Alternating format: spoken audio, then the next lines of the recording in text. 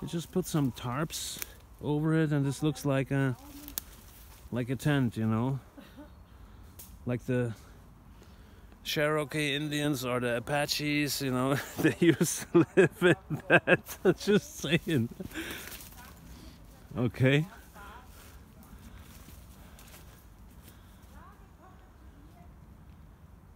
There's a lot, a lot of woods. Okay. Yeah, the wind just bent a lot of trees right there.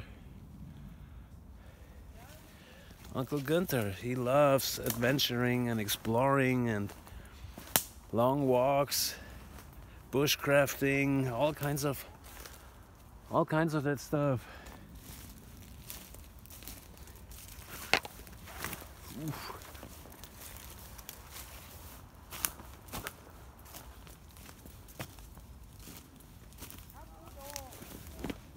Yeah. Ah, Jesus. Need to watch my my ankle, my foot. No bears, no tigers, no lynx. HI, we don't have any tigers here. Lynx.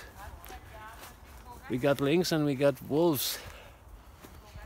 Finally, we have the wolves back in Germany. They've been completely dead over here. So they try to kind of, what do you call it, re socialize them